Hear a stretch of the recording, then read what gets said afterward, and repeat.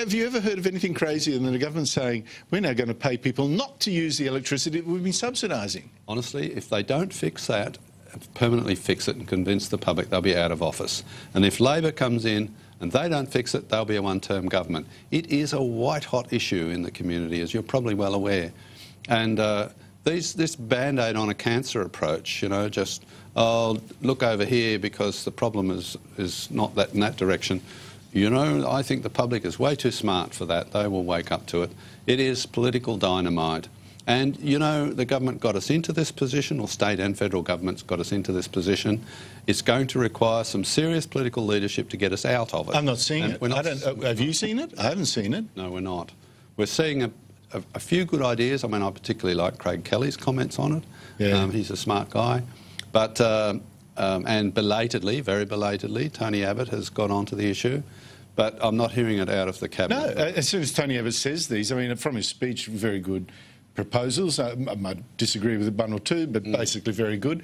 But the abuse from the media is like, someone just spat in church or, you know, ran naked down uh, during the Mass or something like that. It's just ridiculous. Well, a large part of the media is still has still signed up to this idea that Australia should commit economic suicide, um, while the rest of the world, while uh, you know major emitters don't do anything at all.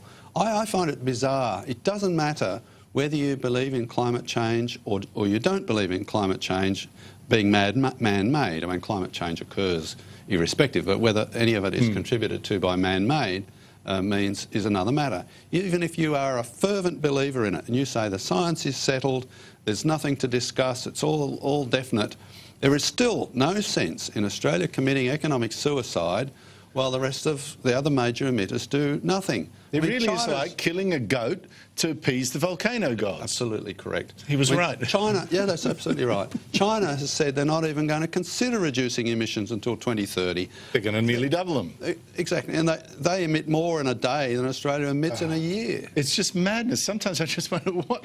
You know, there have been other periods of history where there have been fits of collective madness, so let's not pretend this is unusual. But gee, it's depressing.